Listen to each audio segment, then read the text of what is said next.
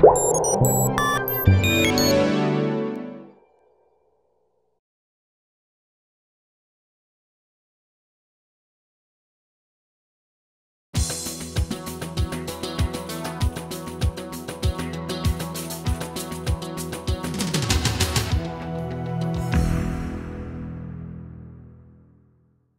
ちらがですね、コルトスナイパー TG ベルサーテ、えー、ベルサーテというね名前の通りバーサタイルなね性能を持ったメタルジグになります、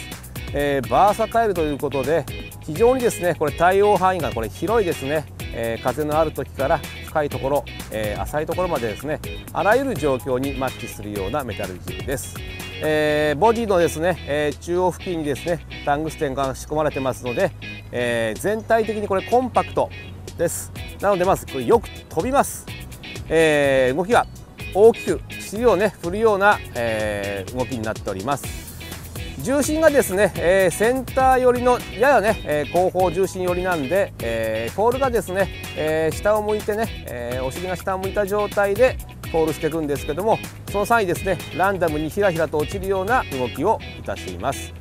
えー、TG ベルサーターですね、えー、25g、30g、40g、えー、60g のね4種類あるんですけども、えー、コルトスナイパーのね竿でお使いの場合、え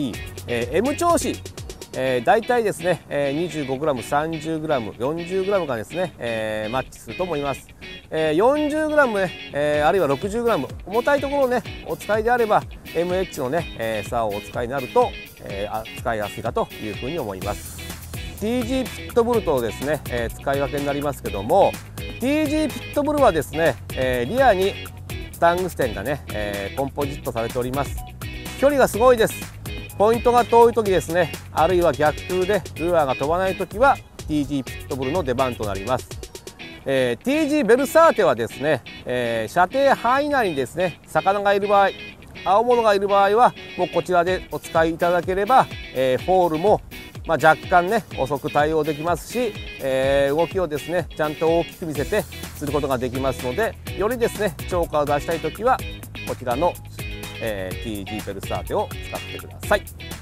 えー、TG ベルサーテ名前の通りですねあらゆる状況で使ってみてください。